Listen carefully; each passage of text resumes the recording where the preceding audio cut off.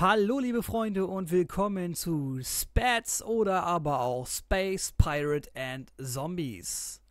Ein, wie ich finde, sehr genial gemachtes Spiel, wo man mit einem kleinen Raumschiff durchs Weltall pimmelt und da viel Scheiße baut und sich irgendwann Stück für Stück größeres Raumschiff holt, Freunde holt und viel Pipapo. Ja, ich starte einfach mal das Spiel, mach direkt ein New Game fertig äh, ja, sag gleich mal starte Game, weil ich will auch nicht viel Zeit verlieren. In letzter Zeit war es ein bisschen still um mich. Das liegt daran, dass ich arbeitstechnisch ein wenig mehr zu tun hatte. Aber das soll sich jetzt auch wieder ändern. Also, ne, dass es so still um mich ist. Ja, und dann warten wir doch einfach mal ab, bis das Ganze hier fertig geladen hat. Kann sich natürlich nur Stunden handeln. Ne, ich sehe es gerade eben schon auf der Uhr. Falls es zu lange dauern sollte, werde ich das Ganze auch cutten. Ich habe das Tutorial und die Story einfach mal angelassen. So muss ich weniger erklären, wie hier was funktioniert, sondern da ich ja im Erklären auch nicht der Beste bin, überlasse ich das dann einfach dem Tutorial. Und werde dann versuchen, so lange wie möglich zu überleben. Klingt auch gut. Finde ich auch. Ja, da sind wir auch schon. Und unser Mutterschiff ist auch da. Ja, okay, folks. It's time again. Ja, dann mal los. Ja, wer das lesen will, der kann das ja ganz kurz pausieren und ähm, ist das auch in Ordnung. Das hier ist unser Mutterschiff gewesen. War gewesen. Eins der Mutterschiffe, was gebaut wurde wie gesagt, wir fangen mit einem kleinen Schiff an. Im Prinzip ist das hier unsere Basis, sag ich mal. Oder war unsere Basis. Jetzt sehen wir auch schon links 1 Empty Hangar. Wir haben noch kein Schiff drin. Und es blinkt hier unten auch schon nervigerweise auf. Push Space to bolt the ship. Das kriegen wir doch hin. Bolt the ship. Den Kram will doch keine Sau wissen. Ah, klick hier. Für Dove steht es auch noch da, genau. Empty Hangar das sind die kleinen Schiffe, die man sich hier holen kann. Sieht man da schon irgendwas? Nee. Ähm, durchs Abschießen eben solcher Schiffe und Einsammeln derer Blaupausen schaltet man diese Schiffe auch frei. Dann bauen wir einfach mal das erste Schiff. Ein Miniship. Ja, hier kann ich noch verschiedene Sachen editieren. Zum Beispiel, wenn ich später freischalte, kann ich hier andere Waffen draufsetzen. Äh, andere, ja, Perks, sag ich mal, installieren. Man kann die Reaktoren verändern, dass sie mehr Leistung haben, besseren Antrieb, stärkere Schilde und, und, und. Auto Rebuild, ganz doofe Idee. Ja, Build the Ship. So, dann springen wir hier mal kurz wieder raus. Warten kurz ab. Und hey, da sind wir auch schon. WASD, ganz klassische Steuerung, mit der Maus drehen, richtet sich das Schiff aus. Linke Maustaste Waffen, rechte Maustaste später auch Waffen. Steht zur Not da unten auch drin. Wenn ich reinzoomen will, Mausrad, rauszoomen, Mausrad. So, jetzt fliegen wir da erstmal hin. Und sammeln mal ein Schiffsteil ein. Ja, genau. So, Schiffsteil eingesammelt. Erstmal zu unserem Mutterschiff zurückbringen, weil das hat ja anscheinend gerade eben ordentlich was abgekriegt müssen wir das Ganze reparieren. Auch kein Problem. Zack, da ist es. Jo. Jo. Jo. Wie gesagt, ich werde mich mit dem Lesen nicht lange beschäftigen. Weil wegen, nö. Wer das lesen möchte, kann das sehr gerne pausieren, ist gar kein Problem. Push Space to travel to another location. Genau das werden wir jetzt auch tun. Systemkarte. Yippie, wir springen ins erste System. Auf Systemkarte klicken und zack, da sind wir. Ja, unser unser Mutterschiff bleibt immer in einem und demselben System stehen, das springt uns nicht hinterher. Ne, wir fliegen halt mit unserem kleinen Miniraumschiff und später auch mit unserer Flotte in die verschiedenen Systeme rein, erfüllen dort Aufträge, meinen dort Ressourcen, Entschuldigung, meinen dort Ressourcen, hier auch RAS genannt, und bringen den ganzen Mist dann wieder zum Raumschiff.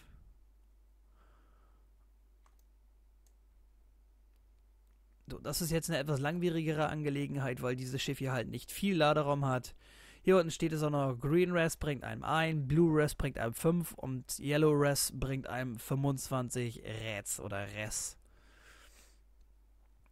Ne, also gelb ist am lukrativsten.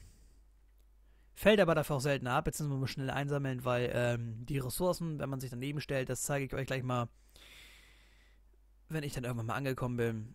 So, jetzt haben wir da blaue Ressourcen. Und die werden nach einer Zeit irgendwann, jetzt hat er es natürlich eingesammelt, werden mit der Zeit irgendwann dann äh, zu grünen Ressourcen. Das heißt, die Ressourcen werten sich, äh, werten sich irgendwann noch ab. Da ist es gerade passiert. Das bedeutet, man muss flink sein. Ja, oben links im Bildschirm sehen wir unsere Hülle und unser Schild, unsere Besatzung und unseren Laderaum. Wird nachher im Kampf relativ interessant. Weil, ne, wenn man sich da gegenseitig ein bisschen auf die Omme haut, sollte man das da oben wirklich ein bisschen im Blick behalten. Ansonsten hat man nicht viel Freude. So, versuchen wir das mal einzusammeln hier. Ja, geschafft. Und voll. 9 von 10. Egal, wir fliegen trotzdem zurück. Haben wir eh 19 von 20. Ja, oben links in der Ecke steht es auch unsere Ressourcen.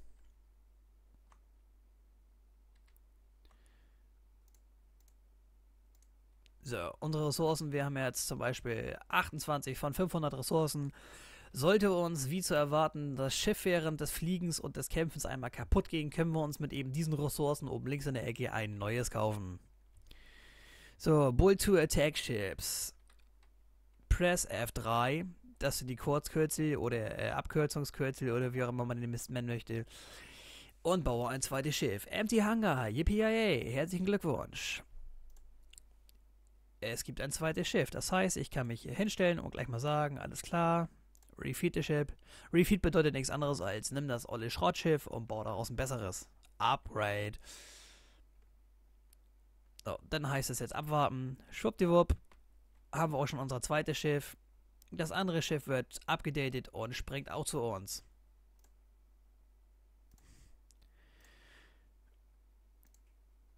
Ich meine, man konnte dem anderen auch noch irgendwie Befehle erteilen. Wie das jetzt genau geht, weiß ich aber nicht mehr. Ist aber auch egal. Irgendwas sollen wir machen. Genau, andocken. So. Zips. Dogging. Ah, meiner Problem. Genau, jetzt kann ich euch das auch mal zeigen. Hier haben wir auch noch einen Schwarzmarkt. Über den Schwarzmarkt, wenn wir genügend Ansehen haben, können wir auch noch ähm, ja, Upgrade-Perks oder Items oder Upgrade-Items, Blueprints, da unten steht ja, äh, Blueprints davon kaufen, um halt wie hier einen neuen Standardschild herzustellen oder aber ein Overload im Mitte oder halt einen Reaktor. Ganz wichtige Sache, weil braucht man im späteren Verlauf. Ist schön, wenn man riesen Schiffe fliegt, aber wenn die Technik da drin genauso alt ist wie das Spiel hier, dann äh, ist das nicht immer ganz lustig. Genau. Goons komme ich später zu, wenn ich wieder weiß, was das ist. Ich habe das Spiel nämlich schon ein Weilchen nicht gespielt. Aber das heißt nicht, dass es nicht trotzdem gut ist. So, das Schiff hier hat übrigens nur zwei Laderaum, deswegen nehme ich damit nicht viel auf. So, ups, denn wollen wir auf die Sternkarte springen. Er hat gesagt, wir sollen da unten rumhüpfen springen wir da doch einfach mal schauen, was uns erwartet.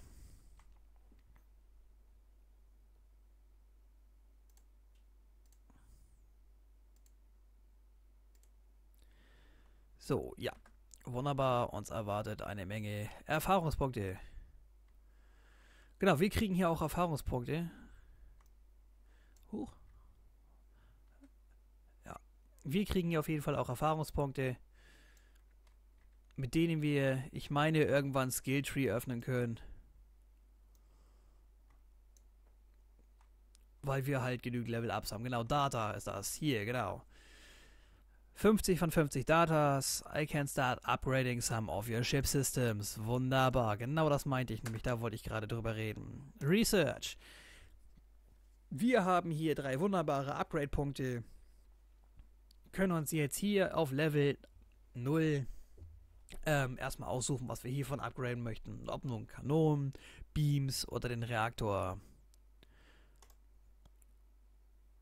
Machen wir mal einen Punkt hier rein. Sieht man unten rechts auch, Level 1 Bonus, 6% auf ähm, Capital Capaci, Kapatapapa, Reaktor Output, also Energiespeicher und Reaktor Output oder irgendwie sowas.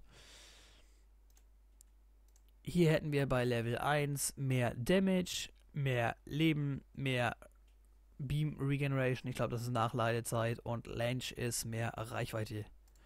Machen wir auch mal einen Punkt rein. Und da haben wir auch noch einen Punkt rein. Selbe Spiel. Was mich nachher am meisten interessiert, ist äh, Turrets, Drones and Launchers, weil so mit Raketen und sowas zu spielen macht schon eine Menge Spaß. So, zapp, dann haben wir das auch hinter uns. Ups. Dann holen wir uns erstmal den Rest der Kisten hier.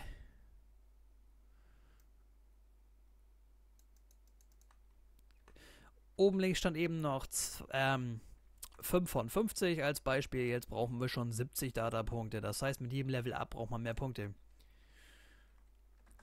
Was ich nachher auf jeden Fall noch eine ganze Ecke steigern kann. Am Bildschirmrand unten sieht man natürlich auch noch seine Missionsziele. Ich mache das gerne hier unten mit der Karte, weil ich mir dann auch noch angucke, was schwebt hier nebenbei noch so rum. So behält man so ein klein wenig die Übersicht. Auch nie verkehrt. Und dann wollen wir da mal loslegen. Ich meine nämlich, jetzt kommen die ersten Gegner gleich angeflogen. Genau, da oben kommt schon der erste Gegner. Und nun heißt es, gibt's erstmal auf die Glocke. Vorausgesetzt, er haut jetzt sich ab.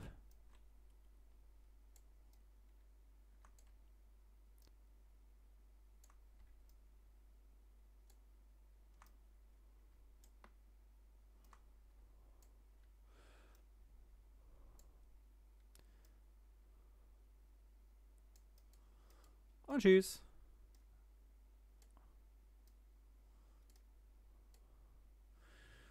Gleich die Erfahrungspunkte einsammeln. Und da ist auch schon der nächste Gegner. Halt. Really don't even know, was willst du? Ja, keine Ahnung. Also, aber ich glaube, ich wurde gerade ein Crewmitglied, genau, eingesammelt. E-Chipganga, äh, E-Chipganga, genau. Ich spare mir das Lesen am besten einfach.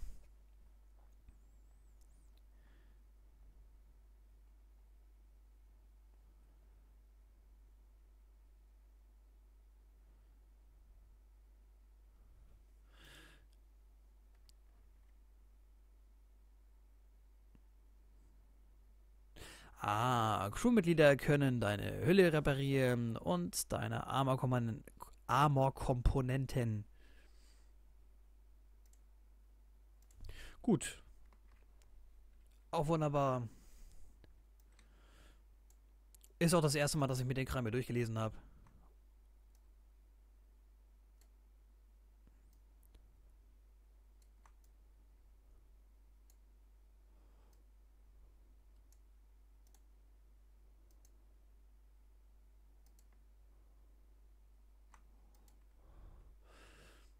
Ja, mit den Lasern zu treffen ist hier gar nicht mal so easy.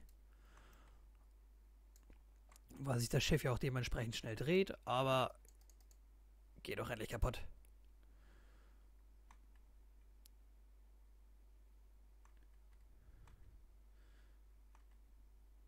Naja, da hat er noch ein Crewmitglied aufgesammelt. Und da ist auch schon der dritte im Bunde. Wollen wir mal gucken, wie viele denn noch kommen. Aber man sieht wunderbar, Schild ist down. Und dann geht es auch direkt auf die Hülle. Das ist hier noch relativ einfach gehalten äh, mit den kleinen Schiffchen. Das wird nachher noch wesentlich interessanter. Low Power. Ach ja, genau. Apropos Low Power. Man muss ja auch aufpassen. Seine Energie, mit der man die Waffen betreibt, äh, die nimmt irgendwann auch mal ab. Heißt, man hat ja nicht immer endlos Energie, sondern man sieht das hier, wenn man nicht mit der Waffe auf ein gegnerisches Schiff feuer und man meinen Mauscursor mal beobachtet, für jedes Mal, wo ich schieße, verbrauche ich Energie. So, diese muss ich erst wieder aufladen. Aber das kann man nachher halt auch durch den, ja, Skilltree nenne ich ihn einfach mal, diesen Upgrade-Skilltree da, ähm, kann man das Ganze nachher wieder ein bisschen aufbessern dass man halt weniger Energieverbrauch hat und die Waffen dafür noch leistungsstärker sind. Und du hau mal nicht ab. Oh. Ja, so kann man das natürlich auch machen. Ja, der Humor hier in, den, ähm, in dem Spiel ist ein wenig für sich selbst gehalten. Manche mögen ihn, andere nicht. Wie gesagt, ihr müsst euch das einfach durchlesen. Ups, sorry. Ihr müsst euch das einfach durchlesen. Ist auf jeden Fall zu empfehlen. So, Schilde auf jeden Fall ein Level hoch. Ich werde erstmal alles auf Level 1 bringen, bevor ich anfange, hier wild rum zu skillen. Damit zumindest äh, die Grundboni schon mal erhalten sind. Das macht auf jeden Fall am Anfang am meisten Sinn. Und ich sollte aufhören, auf Escape zu drücken. So. Raus aus dem System. Genau. Man muss ja auch darauf achten, dieser grüne Smiley, der hier zum Beispiel angezeigt wird, das heißt, die haben mich ziemlich gerne. Wenn sie rot sind und ich in deren System reinspringe, dann feuern nachher auch die Basen auf mich. Die haben mich dann nämlich alle nicht mehr lieb und die Verteidigungsfighter und was nicht alles. Jetzt springe ich natürlich genau ins richtige Gebiet. Der schießt auch schon mit Raketen um sich.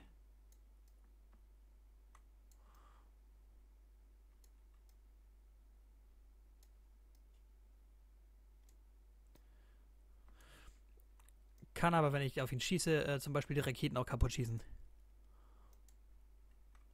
So, da habe ich schon, genau, den Grashüpfer freigeschaltet. Ähm, normalerweise braucht man wesentlich mehr dafür als ein Blueprint. Aber bei den kleineren Schiffen geht das relativ zügig, die freizuschalten. Interessant wird es nachher bei den mittleren bis großen Schiffen. Die haben angemerkt auch gleich äh, ein bisschen mehr Bums unter der Haube als die Lütten hier. Dauert aber relativ lange, meiner Meinung nach, bis man das Ganze freigeschaltet hat. So, du geh auch noch kaputt.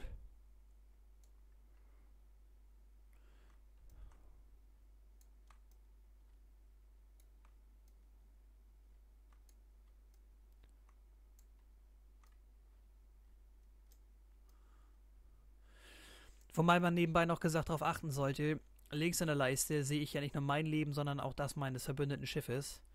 Wenn dem sein Leben null erreicht, ist das Schiff zerstört, dann kann ich es entweder neu bauen oder auch ein anderes bauen, es ein bisschen umskillen. Aber dafür brauche ich oben links die angezeigten Res. Und ähm, ja, man kann sie zwar durch Mining bekommen, jede Menge auf jeden Fall. Aber man sollte doch schon versuchen, da das im späteren Spielverlauf echt böse wird, mit denen zu kämpfen, äh, dass man immer so ein bisschen in der Hinterhand hält. Falls mal irgendwas ist, man ein neues Schiff braucht oder so, ist das gut, das eine Reserve zu haben. Nicht, dass man nachher in irgendein Gefecht reinhüpft und merkt, ja, war zwar ganz witzig, aber äh, hab keine Schiffe mehr. So einer gegnerischen Übermacht gegenüberstehen, wenn man gerade so, äh, ja, sich so schön aufgebaut hat, sag ich mal, ist, wenn man alleine ist, nicht unbedingt immer witzig. So, du geh doch endlich kaputt. Die haben aber Ausdauer, Halleluja.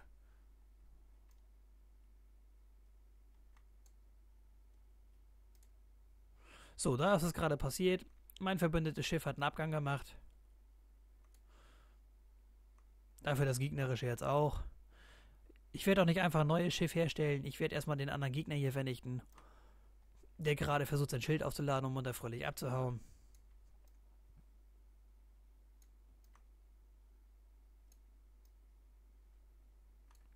So, geh kaputt. Geh doch endlich kaputt, hallo? Oh, 17.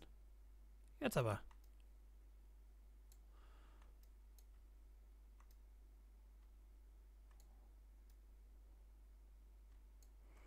Zwei noch, komm schon. Ja, geschafft. Und Blueprint freigeschaltet.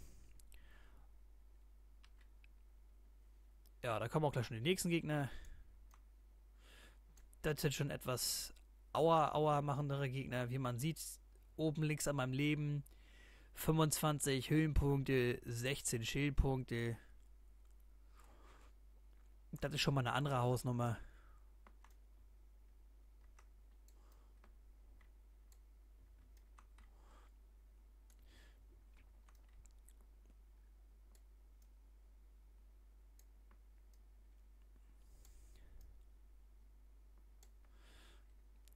So, Leertaste, Hangar. Ich baue mir vorsichtshalber doch noch ein Verteidigungsschiff.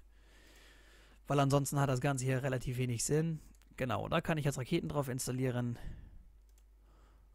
Oder aber äh, Torpedos. Ich hau einfach mal von beiden was drauf und sag, bauen wir mal das Schiff zur Unterstützung. Wir wollen doch einfach mal gucken, was passiert.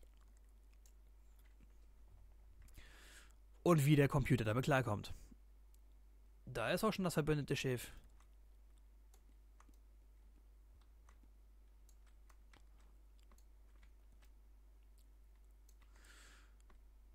Wie man sieht, die haben äh, oben rechts in der Ecke auch noch, ähm, ja, ich sag mal, einen Hüllenumriss. Je nachdem, von welcher Seite ich sie treffe, dementsprechend nimmt auf deren Seite dann die Hülle ab. Das heißt, da muss man sich auch durcharbeiten. Ist ganz gut für die eigenen Schiffe, für die gegnerischen Schiffe immer ein bisschen blöd. Gerade wenn man so mit so einem kleineren Schiff am Anfang noch unterwegs ist, äh, sich da durchzuarbeiten, gerade wenn sie sich immer drehen, das ist echt anstrengend. Aber zum Glück ja nicht ganz unmöglich. Geh bloß her. So. Ich kann wieder etwas upgraden. Erstmal die Beams auf Level 2 bringen. Damit ich wenigstens mal ein bisschen mehr Schaden hier mache. Und gleich wieder munter fröhlich drauf da.